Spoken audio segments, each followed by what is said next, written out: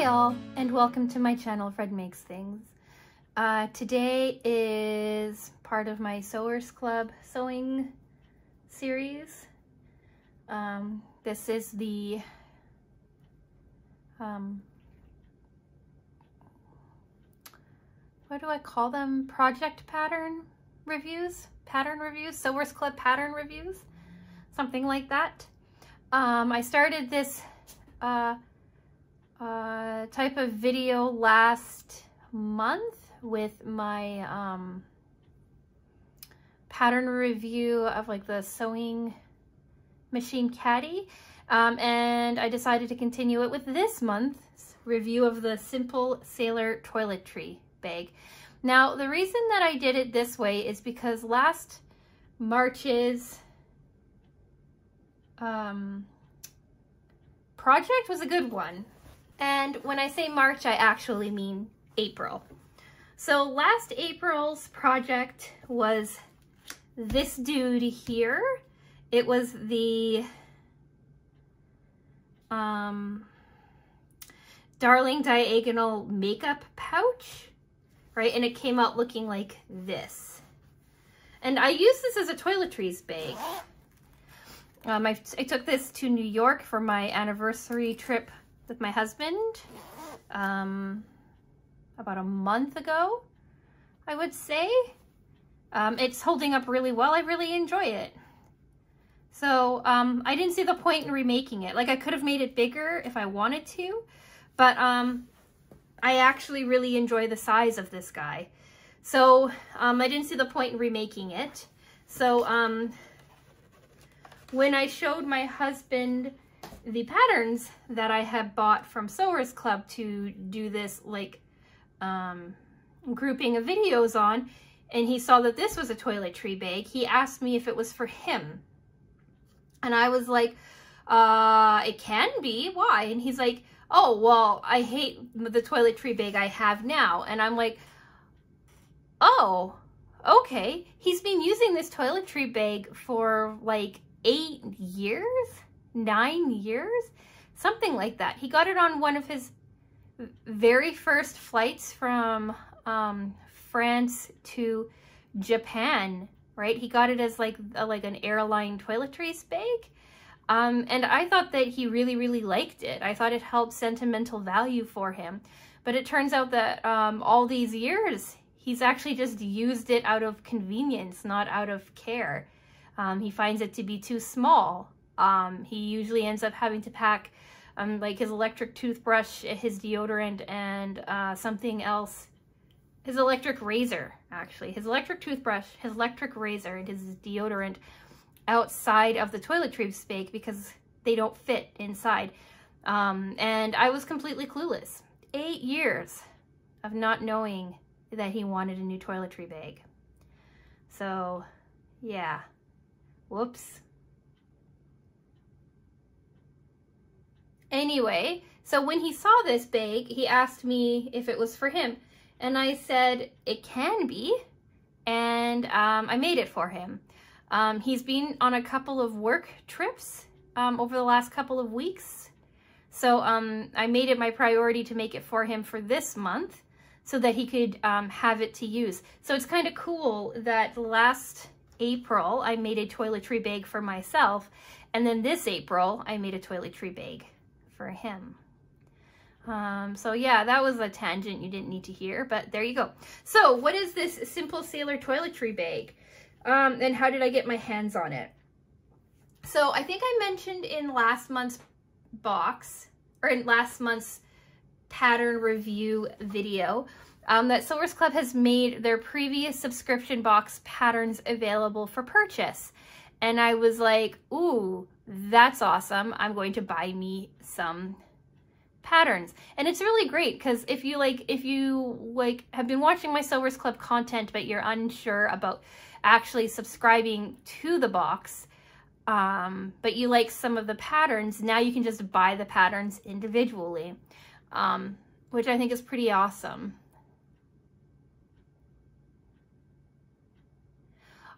Also, I just found out uh, today, I received a text message from Sewers Club letting me know that they've changed their prices um, again.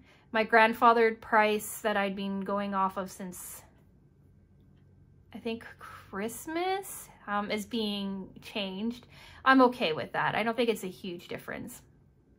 But one of the perks they've included is that now all of the tutorial videos for all of these projects are now available for me online. So I think I'm going to take a look at a couple other projects and see if um, I want to purchase the pattern for them as well. Um, I like having like the video tutorial and having a pattern um, to work off of at the same time. So I think that um, that's going to be kind of nice. Um, and then the third piece of housekeeping I'm sure you can see I I'm filming in a white background. Um, I'm on my husband's desk because, well, as I said in my last video, my dining room table is full of project materials. My desk, my personal desk where I normally film things are also full of different projects. Um, so this was the most convenient spot in the house. So here I am. Let me know if you like this bright white background and I might steal um, my husband's desk more often. There's a cardinal outside of my window. He's making some lovely chirping noises and is completely distracting me.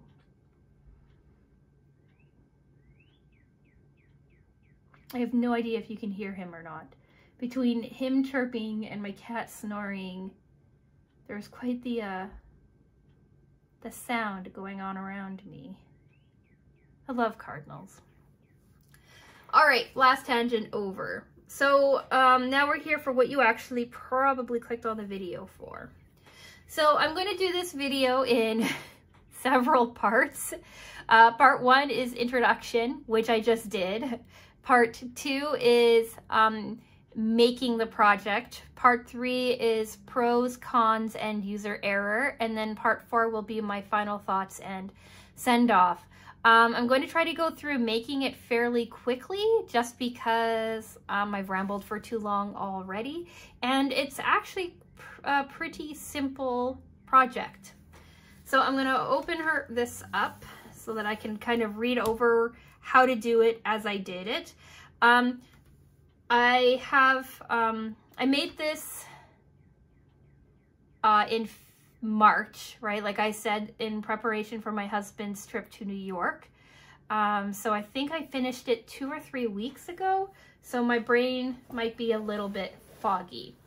Um, so first of all, like I always do, is I selected my material and ironed it. Um, I had I had to go to uh, Joann's and pick up um, two fat quarters. So I picked up this blue and I picked up um, this blue swallow material, which I think is beautiful. Kind of wishing I'd bought more of it. And then I had um, this blue, this white and blue fisherman fabric, like child's fisherman fabric that I picked up in France. Um, this I have like three meters of and I only needed a little bit. I only needed basically like a fat quarter of it. Um, so I still have a whole whack load of it left, but um, yeah, I figured I'd actually use some of my official fabric stash for a project, um, especially since it's for my husband, right? We have like a soft spot in our heart for France. So yeah, those are the three fabrics that I chose. So first off, I did what I always do is I ironed them. Then they wanted me to, um, uh,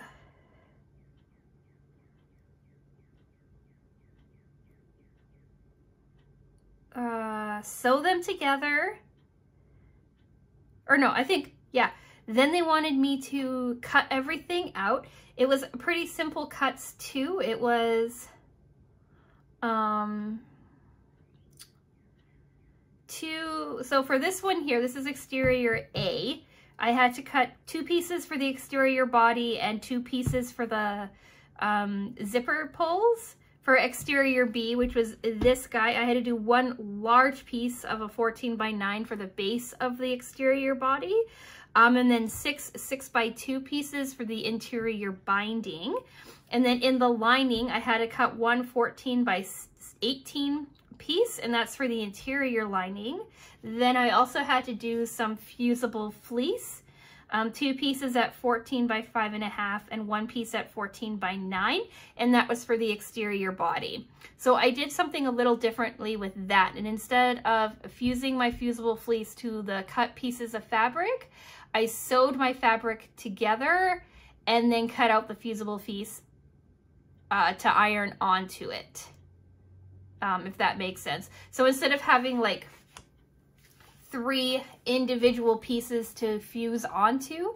I just um, sewed my exterior body pieces together and then used the fusible fleece onto it. Um, then from there, you could either choose to quilt it or not quilt it. Um, a, I was in a bit of a hurry, and B, I'm tired of quilting things, so I decided to keep it unquilted.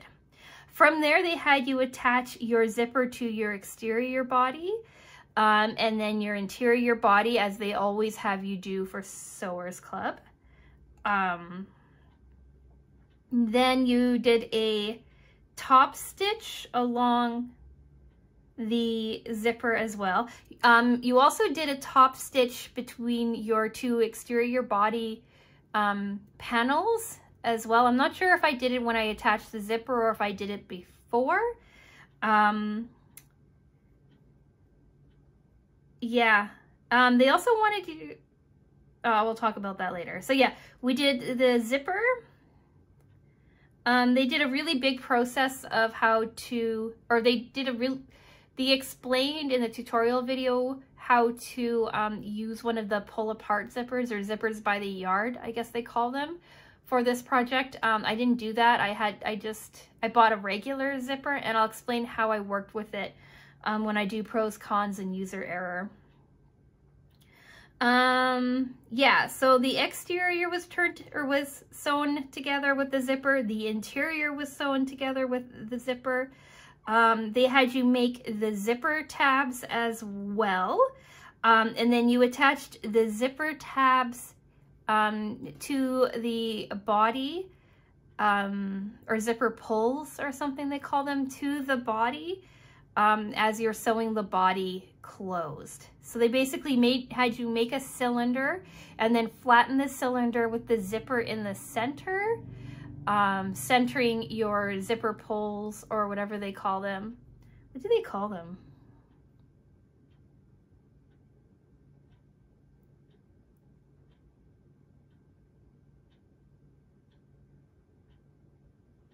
zipper tabs. Um, they had you line the zipper tabs with the uh, middle of the bag with your zippers, sewing the bag shut on both sides. So now you have basically a closed, flat-sided um, pouch. From there, you turned the bag inside out. Or, no, the bag was already inside out. Sorry. From there, you um, cut your four corners off one and three quarters square um, so that um, you could puff the um, uh, bag up into like a three-dimensional pattern or three-dimensional style. Um, and then from there you did your binding, which was what you had cut your eight pieces for, or six pieces of uh, binding for. They had you bind all of your interior, which also gave structure to the bag. Then you flipped the bag right side out. Um, and you're done.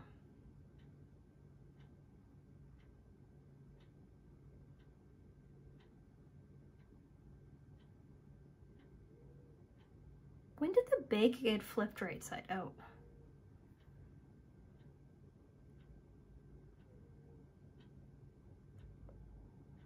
yeah, so the interesting thing with this bag is that instead of working with your wrong sides, you start working with your exterior or with your um, right sides fairly quickly. Like once you've like made the general um,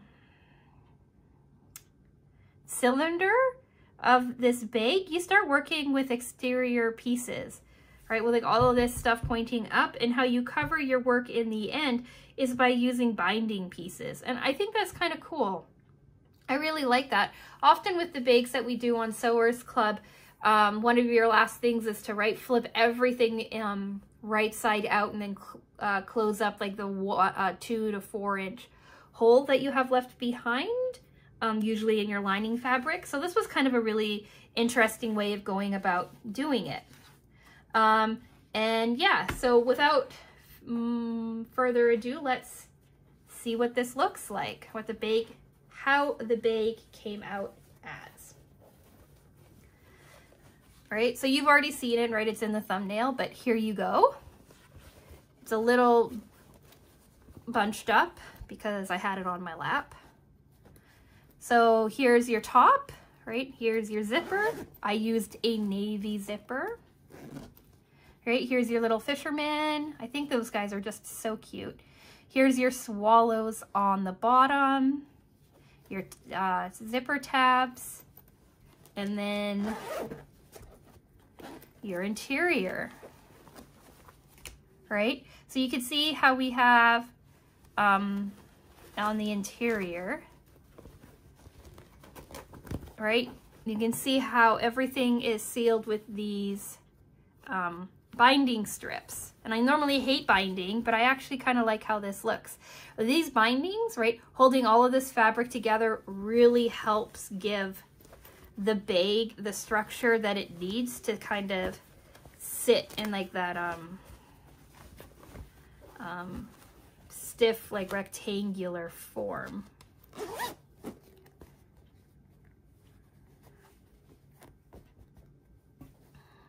All right. So I really like this bag. I really like how it came out. Here's your top stitching along the sides that I kept like trying to describe. Your top stitching on the top, your matching top stitching on your pulls, right? Your bottom. Um, and I kind of went with like how they went. So like they did like boats for their top and then they did like a wave kind of pattern for their bottom. And I really liked how they did that, how they like uh, pulled inspiration from that. Their interior was like houses or something. I don't quite remember, but um, so that's why I did what I did, right? These kind of look kind of like waves, right? And then like the fisherman. It's that same kind of nautical theme. So yeah, that's the big. Uh, that was the process of putting it together. I hope that made sense. I'm so bad sometimes at explaining things. Um, I'm really hoping that the pictures I took while going along the process really helped too to explain it. I didn't re um, refer back to the pictures before talking, so um, that could be why I sounded a bit jumbled. But we'll see. Maybe when I'm editing it, it'll seem better than it is. Um, all right, so now, uh, oh, I also wanted to talk about the thread. So I didn't buy thread. I had this thread for Lord knows how long. So I used it and I think the blue came out really quite nice. It's the exact same blue as the little bowls in the fish and in here, right? So I think it turned out really, really nicely. I just wanted to say that this was the blue. I can't even tell you what color it is. It just says 100% uh, spun polyester by Trident. Um, the color might be 51 maybe CA0051, maybe. But like I said, I've had this, this thread for forever, so I don't know. I have no idea. I don't even know where the thread came from. All right, so pros, cons, and user error. Pro, I really like the bag, um, which makes sense because, you know, I bought the pattern, so I was already liking it before I bought it. Um, I really like the fabric, but again, I chose the fabric. So what can you say? I really like the shape and the construction of it. Like I'm a big, big fan of the construction. Um, like I really like those binding strips on the inside that gives this nice, um, uh, like structure to it, like helps it hold it together well. My husband really likes it. Um, he's a big fan. He's managed to fit all of his toiletries inside. Um, he doesn't travel with much to begin with, but it is a nice, roomy bag. Um, and yeah, it turns out too that he didn't have to take his liquids out um, when he was going through security uh, when he flew to Miami they just like um, let him just plop this down, which is kind of cool. I don't know if that was allowed or not, but he was really excited about it. Um, yeah, so uh, like I like everything about this bag. I'm thinking of making one for myself or one or maybe a couple for Christmas presents or something. We will see. Um, cons. Uh, there aren't really any cons for me. Uh, the only thing I'm not a huge fan are these zipper tabs. Um, I've been seeing other like um, Instagram videos where they do something like this, but they have it like go like across here. What's my hair? When they have them like go across here so you can lift it like this. And I think I like that a little bit better. So if I were to make this again, I might modify it to do it along the side instead of sticking up. Um, but that's pretty minor. Um, and then user error. Um, okay, so there's two things I want to talk about. One really isn't error, like an error. It was because I didn't want to buy a zipper by the yard. I wanted to just use like a pre-bought zipper um, because they're cheaper. Um, so that's the first one. And the second one is I did some cutting mistakes that I'll talk about in a minute. So we'll talk about the zipper first. So they wanted you to use an 16 inch zipper uh, by the yard. And um, like I said, I didn't have that. I didn't want to buy that. Um, I really wanted a navy zipper. Uh, and so I opted to do a really long zipper instead. Um, at Joann, I believe, this is my understanding, that the zippers basically cost the same price no matter how long you buy them. So it required 16 inches and that was for a lot of the, mani the manipulation of the bag. Uh, so what I did is I bought a 20 inch zipper so that I could have um, like my pole sit pretty far away from my fabric so that I could work with the fabric better. Um, and then when it came time to seal it all off, right, I just cut it down and it worked just fine. So if you don't want to buy a zipper by the yard, you could do what I did and just buy like a, a zipper that's a lot longer so that you have like a bit more um, wiggle room with it. Definitely don't buy a 16 inch zipper for this because then you'll have a really hard time. Try to buy something quite a bit longer. Um, and then for my second comment, user error thing is like always, right? I cut before I measured twice um, the interior fabric. So right here, there's a seam and that's because I accidentally cut the fabric an inch too short. And so I kind of cobbled together some more fabric to make the interior work. But as you can see, it doesn't really mess with the interior or exterior of the bag. Like it doesn't change any of the integrity of the bag. Like it still holds its shape. It's not tight or anything like that. And the seam is on the top right here. So you can't even really see it. And I don't think it's to mess too much with the wear and tear of it. Um, and then I guess my third user error is I was trying to be clever and really sew like this zipper without having too much um, of the zipper pieces showing. Like trying to pretend like I had like an invisible zipper without having an invisible zipper. um, and that it works fine. There's no problems with it, but I was noticing when I was sewing it that um, some of my fabric was just a little too close to the teeth and it caused some minor problems with sewing. But now it's fine. Like it opens and closes just fine. So yeah, that's um, it for this project, I would say. Um, so let's do part four, final thoughts and sign off.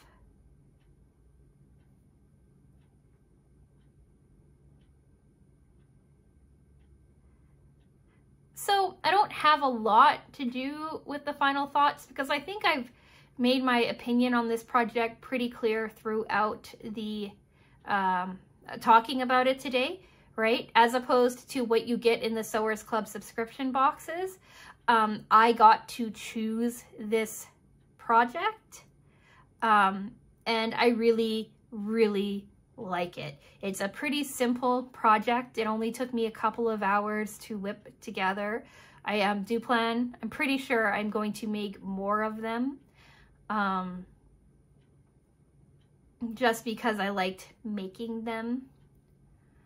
Um, yeah, the only thing I might change is this tab. And like, it's not even that big of a deal. Like I kind of like the tabs like they are too. They're kind of fun to stick your fingers in. Um, yeah, I think, yeah, so, um, I think this is a really great and simple project. Um, if you are thinking about Sewers Club, I would say, um, on the level of difficulty, uh, I would call this like a um, easy to medium. Um, it wasn't as easy as uh, last month's project uh, pattern review, right? That uh, sewing machine caddy was probably the easiest project I've had from Sewers Club. Um, this I would say because of the interior binding um, and some of the like cutting and the instructions, like cutting the corners and stuff like that, I would say it's a little bit harder. And then of course you're adding a zipper. And if you're brand new to sewing, zippers can be difficult at times. Um, but their instructions and their uh, uh, video instructions are always so helpful that I usually never have a problem with it. Um, yeah, so let me know what you think. Did you like the the um, fabric that I chose? Do you like how I stayed in the nautical kind of realm? Um, I know my husband did. My husband was like, oh, I don't care. Like, do whatever you want to do with it, right? And then he was looking at some of the fabrics I had laid out for, like, the um, uh, flowers that I had ju I've just posted on my channel a couple weeks ago and he's like, ooh, are, are those it? And I'm like, no, dude. No, like you're not getting the flower, teal, um, white, turquoise flower pattern, right material. You're going to get something better. So he says he doesn't care. And then when he sees the options, then he starts to. But he's really happy with this project and I've begun babbling. So yeah, um, are you thinking about trying out this project? Have you made a pattern like this before, but by somebody else? Like, um, since making this, I've been seeing a lot of uh, Instagram videos that are very similar to it. So I'm guessing it's a pretty popular uh, design pattern that is out there. Uh, let me know. Let me know what you think. Um, yeah, and I'll end with the usual things. Subscribe if you want to see more sewing content or any of the other content that I have that I post on my channel. Um, I post every Monday, Wednesday, and Friday. Next week is going to be, next Wednesday is going to be this month's Sewers Club review. Um, I just filmed the unboxing for that before I unfilmed, before I filmed this one. So um, I'm not I love the fabrics. I'm not certain about the project, but we will find out how I actually feel about it next week. Um, and yeah, I think that's it. I'm going to go. Thank you so much for watching. Um, subscribe, like I said, if you like. Um, and I will talk with you again soon. Bye!